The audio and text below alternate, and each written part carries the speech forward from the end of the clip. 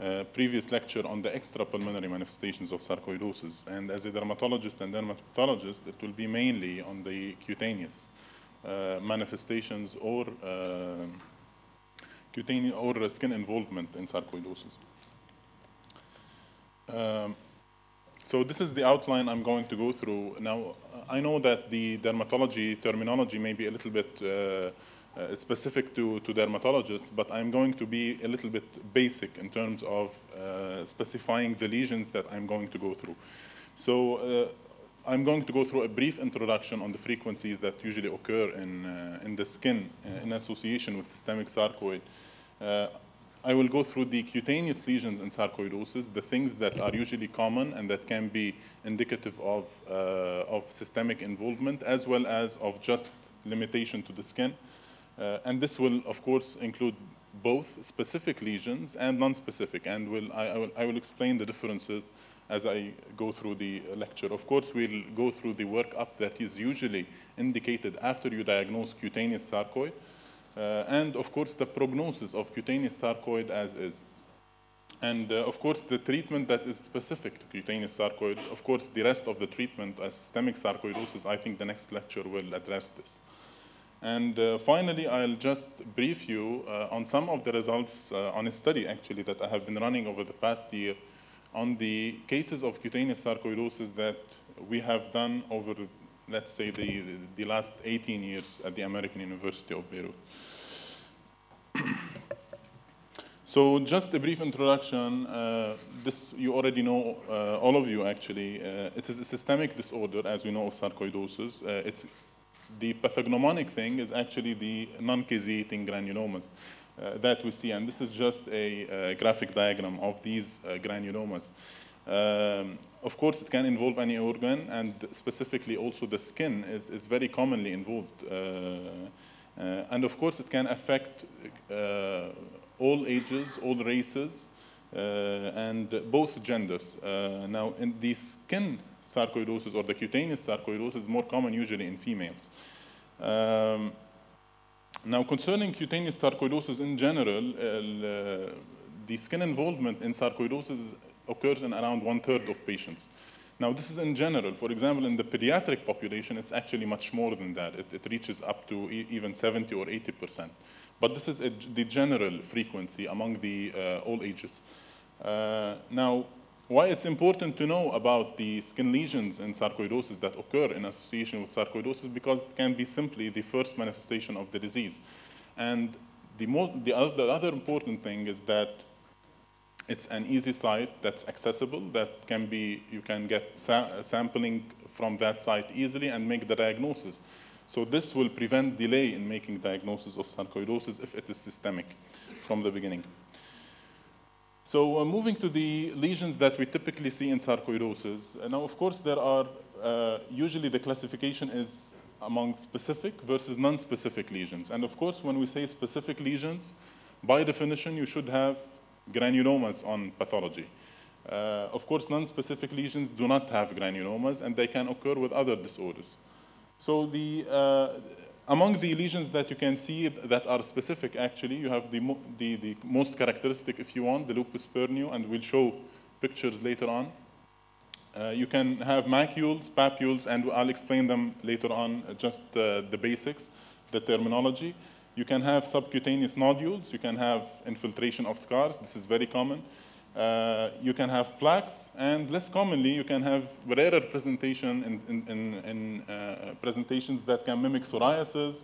You can have ulcers. You can mimic even ichthyosiform disorders, which are usually genetic disorders. Uh, and of course, you can have hypopigmentation. Among the non-specific, of course, the most common is erythema nodosum. And the less common non-specific lesions are usually calcifications or clubbing of nails, even erythema multiforme, although this is controversial. But some people classify it among the non-specific lesions of sarcoid. So starting with these specific lesions. Now, of course, any of the specific lesions, clinically, if you press a slide, this is what we call diascopy, actually, you will get the apple jelly appearance. Uh, and this is usually not really specific for sarcoid, but it is usually an indication that this is actually a granulomatous disorder. This could be cutaneous TB also. But this is usually indicative that it can be a granulomatous disorder, and then you biopsy it, and you get the what we call the naked granulomas that are characteristic of sarcoidosis.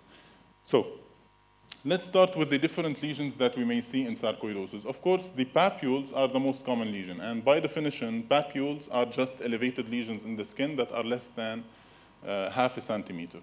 Uh, and these can be of different colors. You can have orange, you can have yellow or brownish, uh, red or violaceous. And in sarcoid, papules classically, if whether they either spontaneously resolve or if they resolve on treatment, uh, they resolve without scarring. And this is uh, unlike plaques, for example, which we'll see later on, which resolve with, with scarring. And these are examples. Usually, papules tend to involve the head and neck area most commonly uh, and specifically the periorbital region. And here it can be uh, a few lesions, and it can be actually extensive all over the body. Plaques, this is again, this is another presentation. Uh, and it could be the main lesion that you see clinically. Uh, of course, plaques, unlike papules, they are also elevated lesions, uh, but they are bigger in size. So they can reach more than one centimeter, and they, be, they can be up to five or even 10 centimeters in size. Now, usually the diameter is much greater than the elevation of the lesion, but in general, it's an elevated lesion.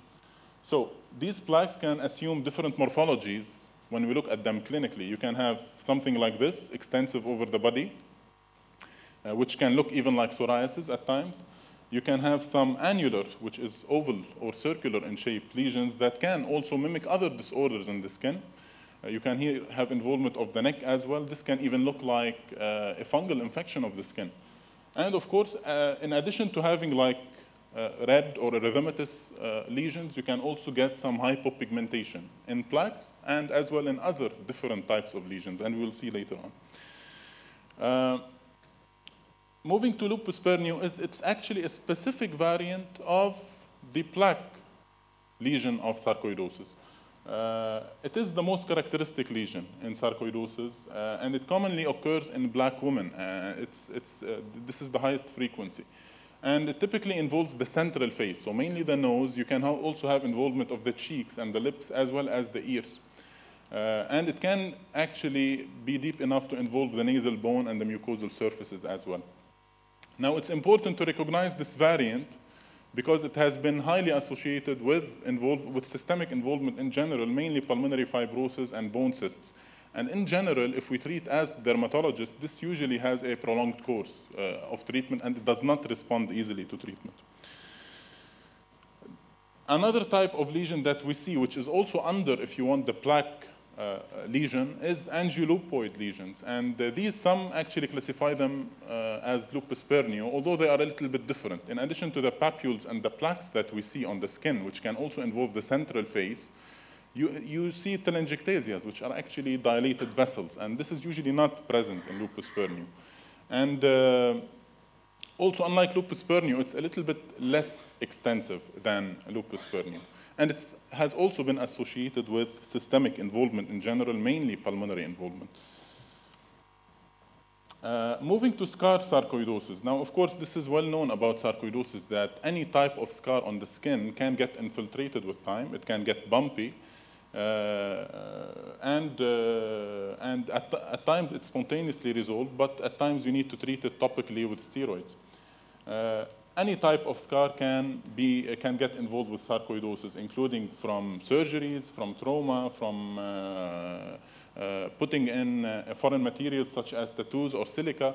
So all of these can be involved with sarcoidosis. However, the involvement is usually asymptomatic, so no itching, no anything. It's just the, uh, the scar suddenly gets uh, elevated. And of course, this is usually benign and it spontaneously resolves. Now, there has been some controversy whether this is usually associated with systemic disease or not. Some studies have said that it's more commonly associated with systemic disease. However, other studies have uh, contraindicated this finding.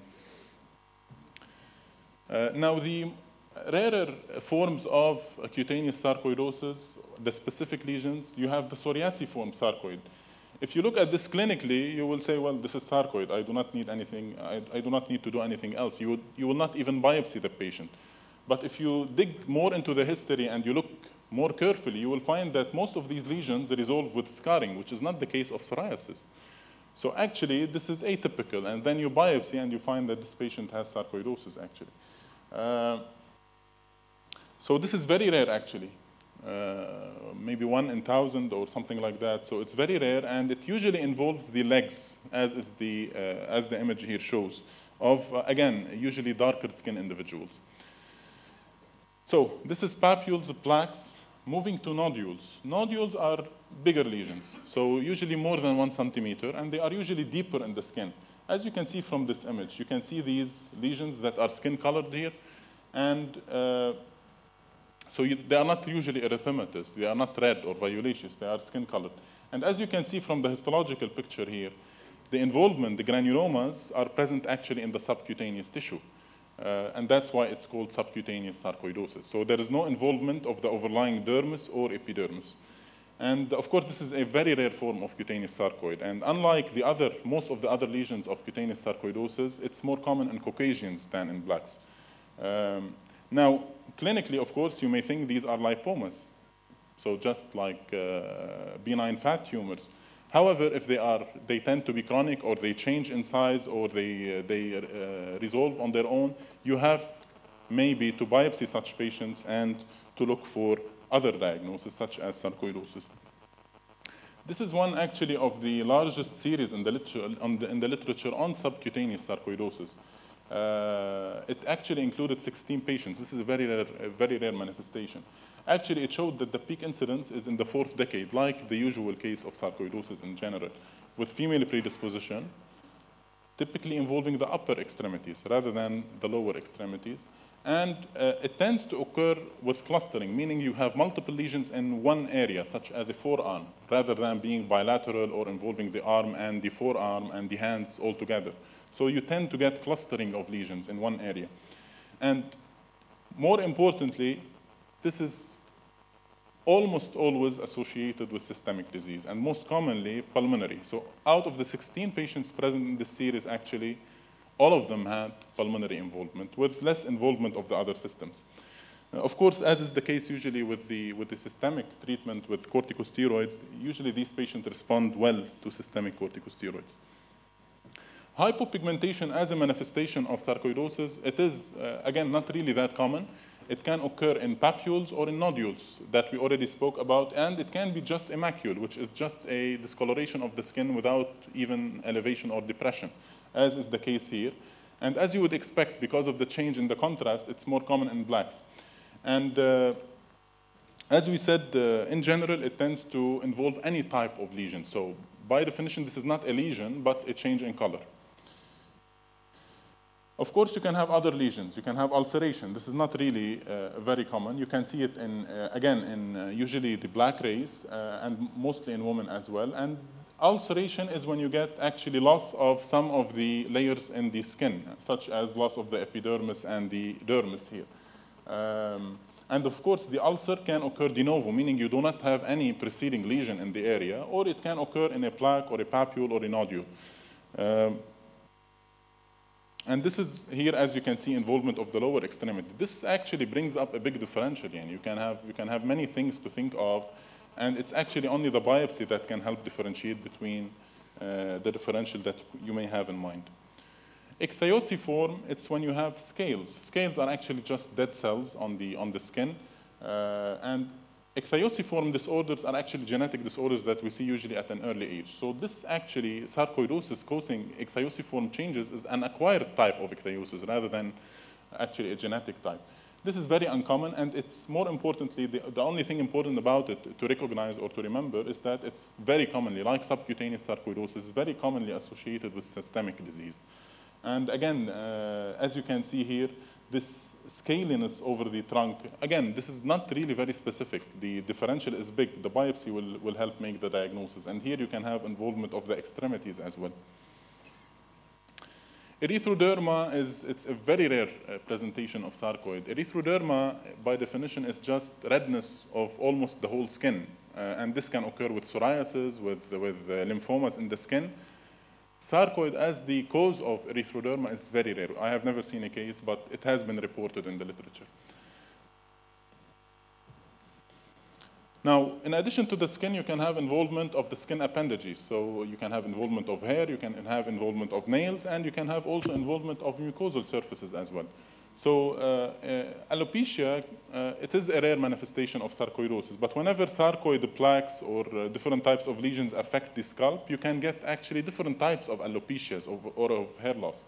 You can get scarring or even non-scarring. So here the image is actually scarring alopecia, and here you can get even total loss of the hair. So uh, this is actually a rare manifestation, but it can occur, and it's commonly very, it's very commonly associated with systemic disease. So you have to look for systemic disease in such patients. Uh, nail involvement, it's again a very rare manifestation, but you can see it, and usually we see it with swelling and redness involving the finger. Uh, so what we call dactylitis. And it's also very commonly seen in patients who have lupus pernio. So whenever you get lupus pernio, check the nails. Uh, uh uh, so uh, the, the presentation usually in, in the nail dystrophy that you may get can be nail thickening, can be discoloration, longitudinal ridging. You can have uh, separation of the nail plate from the nail bed, what we call onycholysis. You can have depressions or pits in the, in the nail plate, and you can have some brittleness in the nails. But again, the differential here is big. You can have onychomycosis, fungal infection of the nail. You can have psoriasis on the differential. So here again, biopsy will make the, different, the, the, the diagnosis. Mucosal involvement is another rare manifestation. You, the oral mucosa is usually more involved than other areas. Uh, nasal, of course, mucosa can be involved, as is the case of the anogenital mucosa. And here, Caucasians are more commonly affected rather than the black race. And in the oral uh, cavity, usually it's the buccal mucosa that's commonly affected. Here, of course, I'm showing lesions involving the palate. Uh, so this is concerning the specific lesions, where you get granulomas uh, if you biopsy those lesions. Of course, you have the non-specific lesions, which some believe to be more common even than the non-specific. Specifically, what I'm showing here.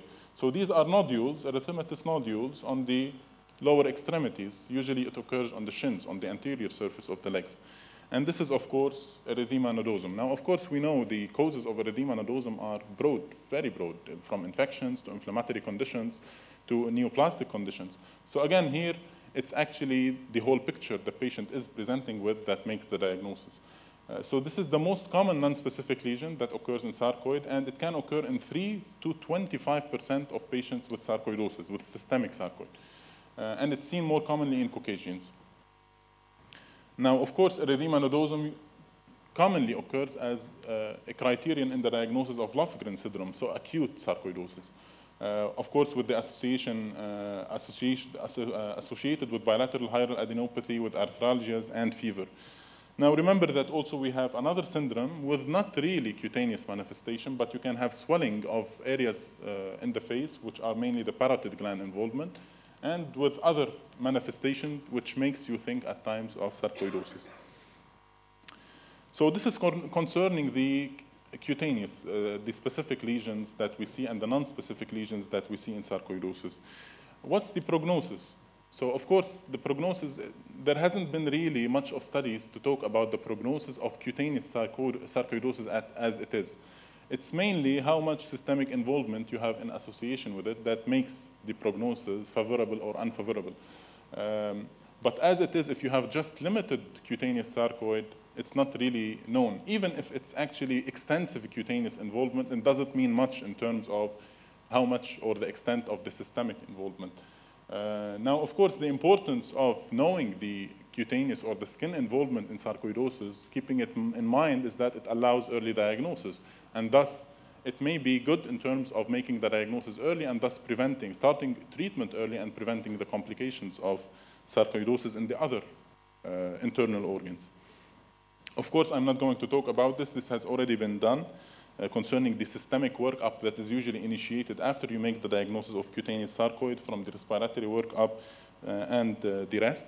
Uh, I'll go directly to the treatment, just uh, a little bit on treatment uh, that's specific to the skin. Now, we know we can use a lot of systemic treatment when we have systemic sarcoid, such as systemic steroids, methotrexate, or antimalarials.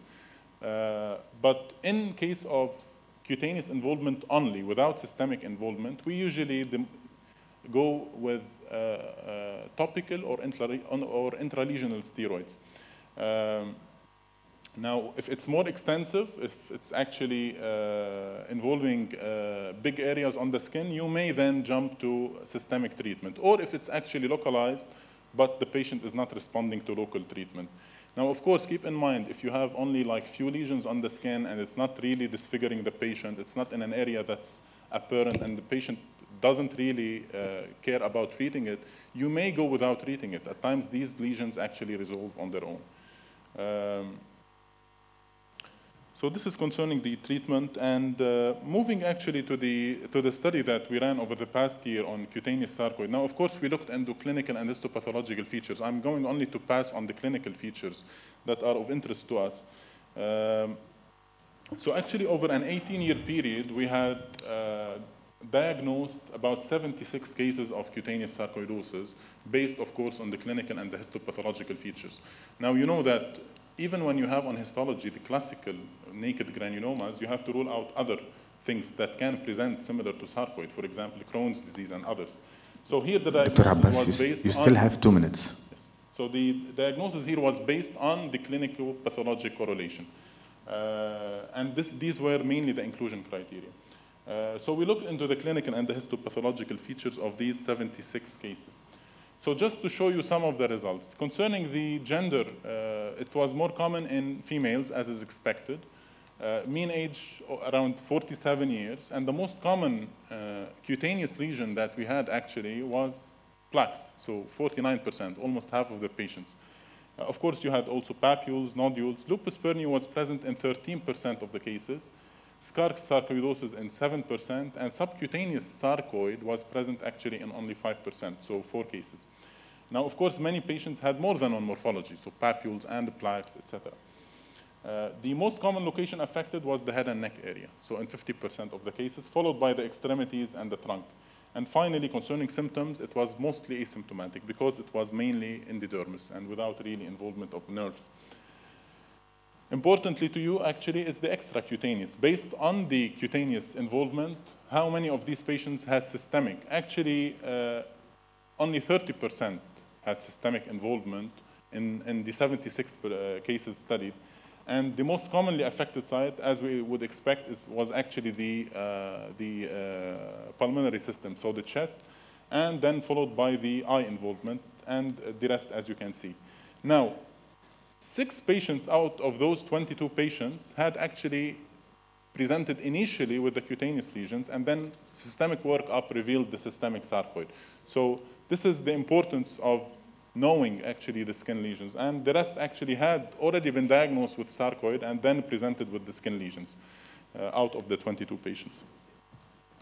Uh, of course, uh, I would like to acknowledge before I finalize uh, Dr. Reem Ishaq. She's actually the chief resident at the Department of Dermatology who had actually worked hard on the study and also the co-investigator, Dr. Abdul Ghani Kibbi. Thank you. Thank you, Professor Abbas, for this uh, very interesting